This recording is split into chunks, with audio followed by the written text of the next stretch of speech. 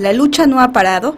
Desde el anuncio de que una bodega ahorrará propiedad de la cadena comercial Walmart llegaría a instalarse a Jico, los habitantes se unieron en un frente común de defensa para exigir parar la obra. La razón es simple, más de 500 pequeños comerciantes verían amenazadas sus ventas y podrían incluso cerrar sus negocios si esta transnacional llega a instalarse. Además, los comerciantes temen que si esta tienda se instala en las tradicionales calles, se puedan echar abajo los planes de convertir a este municipio en pueblo mágico.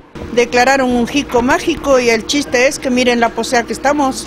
Pues yo siento que vamos a salir muy perjudicados porque somos pequeños comerciantes a muchas personas que no les perjudique porque no viven de ese trabajo, sino pues tienen otros medios no para vivir. Y nosotros desgraciadamente vivimos de esto. Y, y, sí nos va a afectar mucho porque este porque no vamos a poder competir con ellos porque nosotros vamos y compramos pues pequeñas porciones de mercancía. En cambio ellos van a traer un, buen de, de mercancía para poder dar precios más bajos. En eso sí a nosotros sí nos va a afectar mucho. Acá llevo como cerca de 30 años vendiendo. ¿Y qué va a hacer si esta tienda disminuyase que disminuyan sus ventas? Pues eso es lo que pensamos, que en tanto tiempo trabajar y que vengan otros a quitarnos en nuestro pueblo. ¿Crees que sea justo que venga otro de afuera?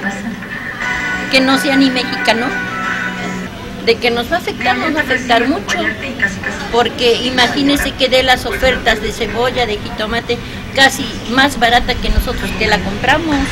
Entrevistados en exclusiva por ABC, lamentaron la poca disposición de la autoridad municipal para escuchar sus peticiones. ¿Ha venido el alcalde a platicar con ustedes? No, nunca, desde que se recibió en el mercado no ha venido.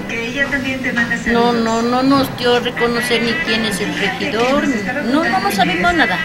El alcalde se cerró porque a nosotros nos hace que fueron vendidos desde que estaban en, en este en, en campaña. ¿sí? A mí se me hace que todos los partidos políticos fueron vendidos en esa forma porque lo único que él dice es un hecho. ¿Sí? Le, se le pidió que si había estudios ya este, ecológicos, ya ve que para sentar una cosa de esas se necesitan muchas cosas, y él solo contestaba, es un hecho.